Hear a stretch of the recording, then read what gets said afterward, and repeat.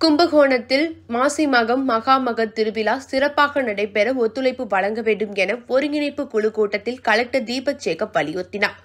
தஞ்சை மாவட்டம் கும்பகோணம் வருவாய் கோட்டாட்சியர் அலுவலகத்தில் மாசி மகம் மற்றும் இரண்டாயிரத்தி இருபத்தி எட்டாம் ஆண்டு நடைபெறவுள்ள மகாமகம் குறித்து மேற்கொள்ள வேண்டிய முன்னேற்பாடுகள் பணிகள் மற்றும் பாதுகாப்பு பணிகள் குறித்து கலெக்டர் தீபக் ஜேக்கப் தலைமையில் ராமலிங்கம் எம்பி அன்பழகன் எம்எல்ஏ ஆகியோர் முன்னிலையில் அனைத்து துறை அலுவலர்களுக்கான ஒருங்கிணைப்பு குழு கூட்டம் நேற்று நடைபெற்றது. கூட்டத்தில் மாசி மகம் மற்றும் மகாமகம் திருவிழாவை முன்னிட்டு சைவ மற்றும் வைணவ கோவில்களில் தேரோட்டங்கள்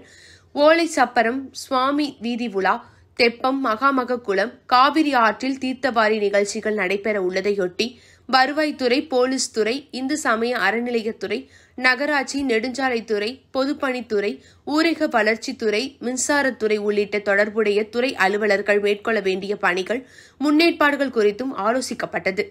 மாசி மகம் மகாமக திருவிழா சிறப்பாக நடைபெற அனைத்து துறை அலுவலர்களும் ஒருங்கிணைந்து முழு ஒத்துழைப்பு வழங்க வேண்டும் என்று கலெக்டர் தீபக் ஜேக்கப் தெரிவித்தார். கூட்டத்தில் மாநகராட்சி ஆணையர் லட்சுமணன் மாவட்ட ஊராட்சி துணைத் தலைவர் முத்துச்செல்வம் கும்பகோணம் வருவாய் கோட்டாட்சியர் பூர்ணிமா துணை போலீஸ் சூப்பரண்ட் சித்திக் மற்றும் அனைத்து துறை அலுவலர்கள் உடனிருந்தனர்